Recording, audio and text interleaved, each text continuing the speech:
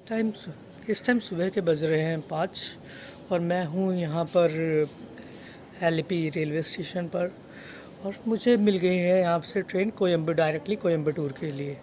तो bus train एक cheaper साधन है, अगर आप ट्रैवल कर रहे कर रहे हैं तो ट्रिप ट्रेन ट्रेन कंफर्टेबल भी होता है और चीपर भी होता है।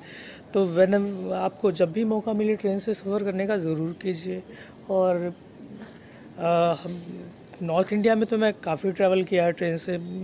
मैंने तो काफ़ी ट्रैवल किया है ट्रेन से। चलिए साउथ का भी एक्सपीरियंस लेते हैं कैसा है ट्रेन का एक्सपीरियंस कै, कैसी है ट्रेन की टाइमिंग्स? वही नॉर्थ इंडिया हाल वाला हाल तो नहीं है कहीं कहीं ट्रेन लेट तो नहीं हो जाती हैं। जी है अल्फ़ा जुआ और एलपी का रेलवे स्टेशन। दोनों सेम ही हैं पता नहीं क्यों लोग इसको दो दो नामों से बुलाते हैं। स्टेशन पर भी अल्फ़ा जुआ भी लिखा हुआ है एलपी रेलवे स्टेशन भी लिखा हुआ है। पता नहीं दोनों में से क्या है, जो भी हो, हमें तो अपने काम से मतलब है।